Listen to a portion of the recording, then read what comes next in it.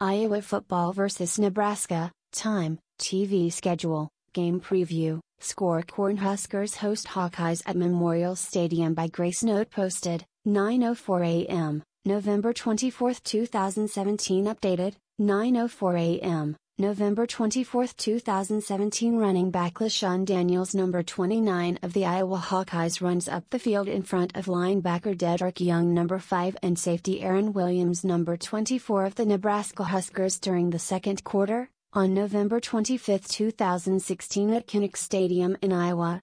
Lincoln, Nebraska. Iowa found itself ranked as high as 20th in the college football playoff rankings coming off an unlikely thrashing of Ohio State earlier this month, but the offense that was so proficient against the Buckeyes has returned to its early season form.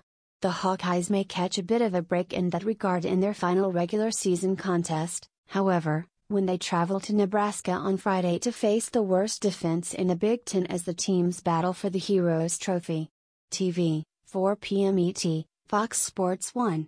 Line, Iowa minus 3 entering its November 4th meeting with Ohio State. Iowa had scored fewer than 20 points in four of its first five conference games, but the Hawkeyes rolled up 487 yards on a one-loss team en route to a 55-24 victory.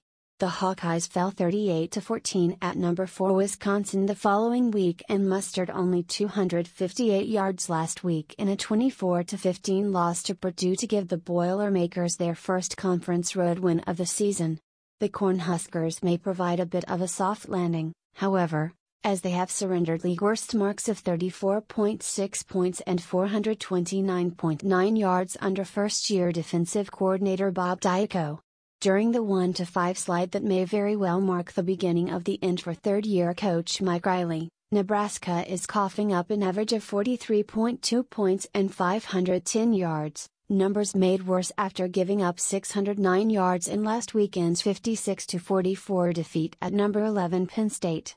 About Iowa, 6 5, 3 5 Big 10. Akrum Wadley ranks 7th in the conference in rushing with 862 yards and needs 138 to become the fourth player in program history to produce back to back 1,000 yard rushing seasons and the first since Fred Russell in 2002 03.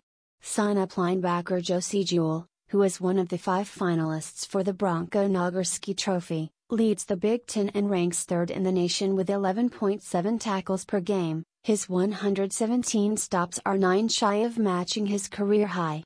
Josh Jackson paces Division 1 in interceptions, 7, 1 shy of tying the school record, and passes defended, 24. The junior cornerback also ranks third in FBS in pass breakups, 17, and interception return yards, 163. About Nebraska, 4 to 7, 3 to 5, Stanley Morgan Jr., Big Ten best 91.2 receiving yards per game, who produced a career high 185 yards on 7 catches against Penn State, ranks second in the conference in receiving yards, 912, 31 shy of topping former Heisman Trophy winner Johnny Rodgers' school record. J.D. Spielman has already set school freshman receiving records for yards, 830, and receptions, team high 55. Tanner Lee went 19 for 22 for 327 yards in the second half versus the Nittany Lions after going 7 for 15 for 72 yards before the break. He has not thrown an interception in four of his last five games and is 62 yards shy of becoming the fourth Nebraska quarterback to throw for 3,000 yards in a season. Extra points 1. Iowa is 9 2 in trophy games since the start of the 2015 season and has won three of the last four meetings in this rivalry, including both games in Lincoln. 2. Morgan, 2nd, and Spielman, 7th, already rank inside the top 10 in school history in single season receiving yards and are the first Nebraska duo to top 800 receiving yards in the same season.